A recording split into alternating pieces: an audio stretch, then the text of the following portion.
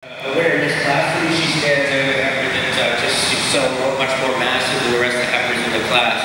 Is on that width throughout and that length up to her front end. that She places over a very correct heifer in second. Heifer in second, a heifer that you admire all the way through, a heifer that's so well put together. Uh, just like the length around her neck a little, but a really well balanced, correct heifer. She places over the white heifer I moved up in third. A very correct heifer in her own right. Uh, heifer that you just admire for that balance all the way through. But I give an advantage to the heifer in second and her width all the way through, width the chest and width through her rump over the white heifer in third. Heifer in third over the one in fourth. Just prefer the way she carries her top. She handles those rear legs. She walks straighter on her rear legs than the heifer in fourth.